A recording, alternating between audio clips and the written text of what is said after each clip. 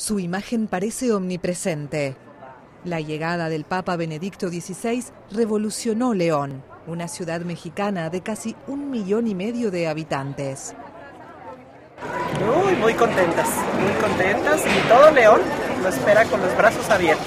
Uh, pues eso para nosotros es una emoción muy grande, ya que pues nuestro país está privilegiado en, en la llegada del Santo Padre y es algo, es algo muy lindo, muy bonito, algo que no se puede explicar. La ciudad entera parece celebrar. Los fieles están orgullosos de ser uno de los destinos del segundo viaje a América del Sur de Benedicto XVI. Una personalidad tan, tan grande que nos venga a visitar a esta ciudad, siendo el país tan grande, con tanta gente bonita, y que venga y escoja León para venir a dar su mensaje de paz, es una cosa fabulosa. Después de pasar tres días en México, Benedicto XVI viajará a Santiago de Cuba y La Habana. Durante los seis días que permanecerá en América Latina, el pontífice, que pronto celebrará sus 85 años, cumplirá un programa poco cargado que toma en cuenta su edad avanzada.